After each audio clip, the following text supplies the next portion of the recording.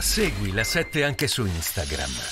La 7 ovunque con te centro di trattenimento, ve lo mostro nuovamente, è l'unico in Italia, è diciamo una sorta di esperimento, così è stato chiamato perché il centro ancora non è avviato, ma io sono qui in compagnia del sindaco Roberto Ammatuna che mh, ne sa più di tutti perché insomma ha dovuto interloquire con le varie istituzioni per capire che cosa eh, si sarebbe creato proprio qui a Pozzallo. Ce lo spiega lei perché se ne è parlato molto ma se ne ha capito anche molto poco. Se la parlato di CPR, cifre, insomma che cosa è esattamente, come mai non è ancora in funzione e che cosa non è chiaro per voi?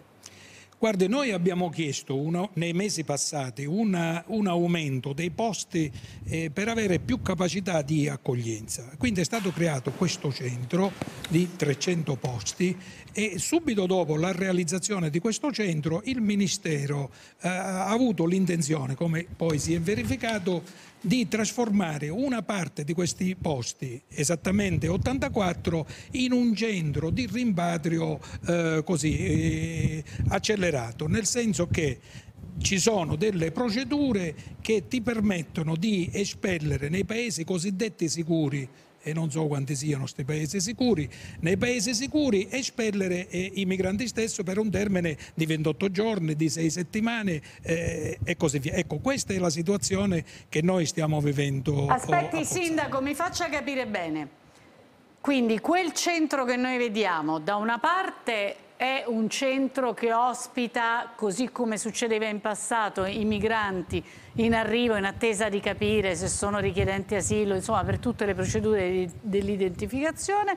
Per quelli che arrivano dai cosiddetti paesi sicuri, quello diventa un centro per il riconoscimento accelerato, non ha niente a che fare però con il CPR di cui tanto abbiamo parlato in questi giorni. Ha detto esattamente, ha detto esattamente. Ecco, ha detto esattamente come stanno le cose. Questo okay. non è un GPR, questo è un centro dove le procedure sono abbreviate ai sensi del decreto oh, Cutro.